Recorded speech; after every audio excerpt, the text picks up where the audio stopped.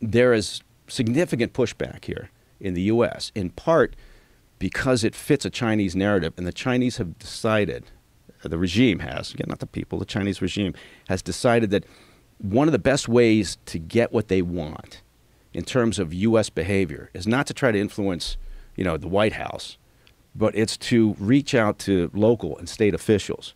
So here's where I'm going with this. When you look at, at decisions made at state level or local level, the Chinese regime and, and the, the uh, ODNI, the Director of National Intelligence, released a report, and they talked about this.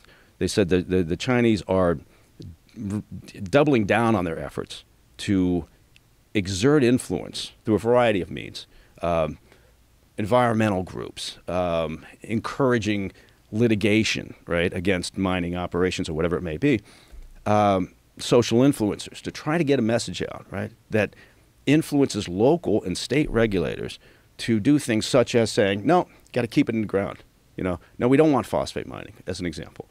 Um, and that serves the purpose. Whether, whether an environmental group or whether a, uh, a group um, that's out there that, that, focuses on these things and, and, files lawsuits constantly for environmental purposes, and then by the way, those those lawyers, you know, usually recoup their funds from you know, what is called the Endangered Species Act that allows them to get their money back. So you think, oh, wow, these lawyers are fighting and it's pro bono. No, it's not. They're getting paid. So, but they're doing it, whether they do it knowingly or whether they do it uh, unwittingly, it still serves the purpose of the Chinese regime, which is looking to say, keep it in the ground because we want to control all of this.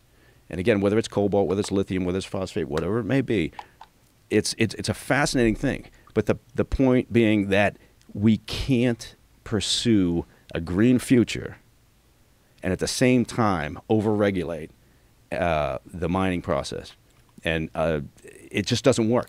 China has so much influence on America. It's it's it's crazy how different the playing field is between like what we're allowed to do. Like Americans can't own businesses in China, they can't own land in China, they can't buy property, but China can do all those things here and they can influence our universities. They bring their students over here. Their students siphon up data and information, and oftentimes get caught. I mean, it's yeah. it's kind of yeah, crazy. Possibly, yeah. yeah. they get caught, right? Yeah. There's been quite a few of those cases. There but, have been, but but, but you think about that's a, that's the tip of the iceberg, right? That's a that's a that's a small number that because it's it's a, it's an incredibly heavy lift, right? A counterintelligence operation is is really tough, and so I look at that and I think, yeah, I'm, thank God we caught that person. But then you think, well, how many more are there out there? Right. So, That's the thing. It's like yeah. how many of them are just more careful? Yeah, yeah. It's um, it is interesting in a way. We used to talk about during when, you know, when we were on the war on terror, right? And everybody's forgotten about that, uh, you know, for the most part. Although we probably should talk a it's little bit about. Some the back burner. Yeah, it's and it's it's bubbling away in Afghanistan, which